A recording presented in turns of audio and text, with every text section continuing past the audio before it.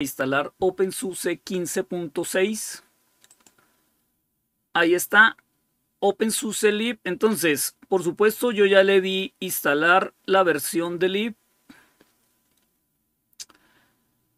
Esta es la última versión OpenSUSE lib 15.2. Aquí le di download.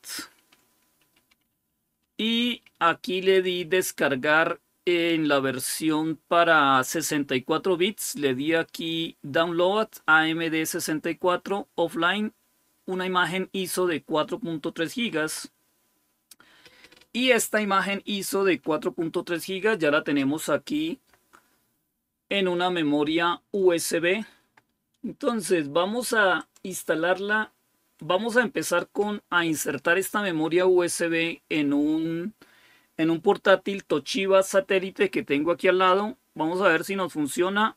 Entonces, y mientras se va instalando, eh, seguimos hablando de las características de OpenSUSE.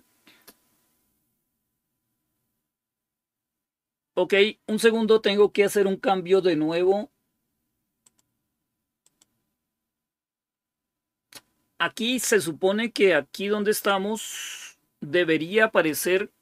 Vamos a insertar la USB en el portátil. Un momento.